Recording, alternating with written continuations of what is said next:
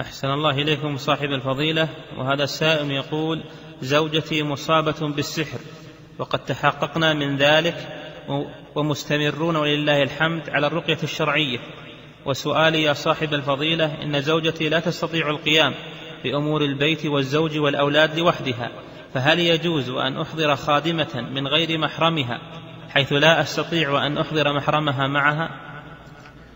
والله مسألة الخادمات هذه مسألة خطيرة جدا لأنها يحصل فيها سفر المرأة بدون محرم ويحصل فيها الخلوة بعض الأحيان معها وغالبهن غالب الخادمات المستخدمات لا تلتزم بالآداب الشرعية لا تلتزم بالحجاب ولا يكون عندها آه، الاحتشام التام لأنها نشأت في بلاد غير ملتزمة ففيها مخاطر في الحقيقة.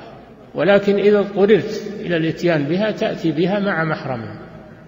تأتي بها مع محرمها. يشتغل عندك محرمها أو يشتغل عند غيرك ويجي لها ويكون حولها. بهذا الشرط. نعم.